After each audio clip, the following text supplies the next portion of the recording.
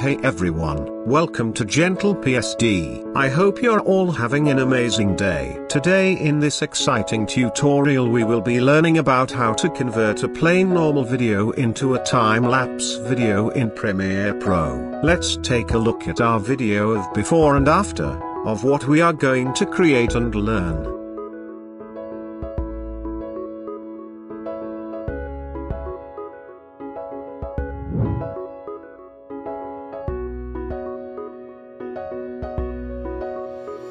That looks super awesome. This tutorial will have good insights and tricks about Premiere Pro, so be sure to check it. Before we begin please make sure to hit the subscribe button and bell icon for more amazing tutorials like this. Without any further ado let's begin.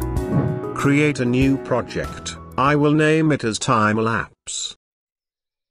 We will now bring our stock video to our project panel. I want this project to be in 30 frames per second. Go to File, New and select New Sequence. I will use the 30 frames 1080 pixels settings, click OK. Now drag our stock video to our sequence panel, here we have an option to keep the existing settings which is 30 frames. Or we can change the sequence settings to match our video which is 24 frames. We will use the keep existing settings.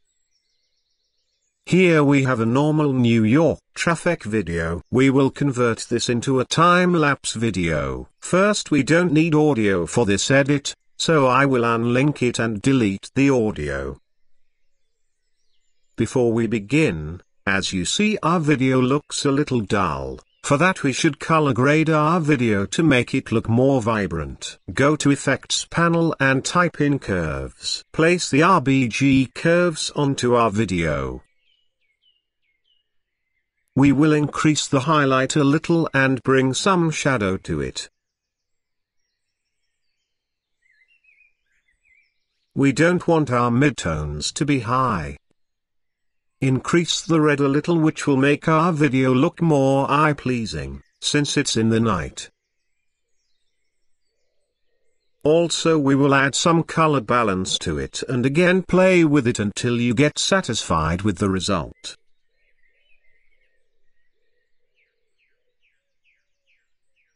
That looks super good. Now let's make our video into a time lapse. Go to Effects panel and type in Posterized Time. Here place the Posterized Time effects onto our video. In the Effects Control panel, we have our posterized time effect which indicates our video frames which is 24. To make a time lapse we will bring down the frames to 0.8. You can use frames from 0.5 to 2, but for me 0.8 frames gives me the good output.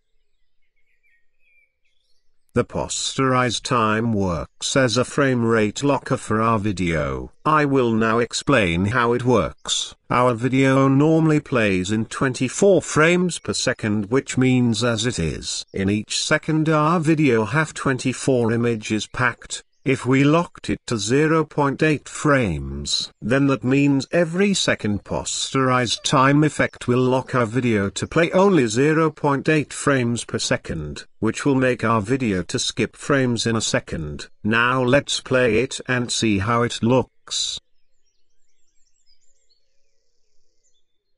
That looks good but as you see it looks super slow and time lapse are supposed to be a showing the time speed. So right click on our video and select speed duration. Here change the speed to 800%, which will increase our video speed to 8x.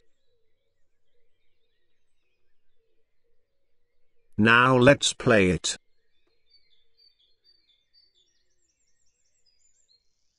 That looks super awesome, we now created our time-lapse video from a plain normal video. We can increase the speed a little to make it look more good. Again right-click and go to speed duration. Change it to 1000% and let's play it.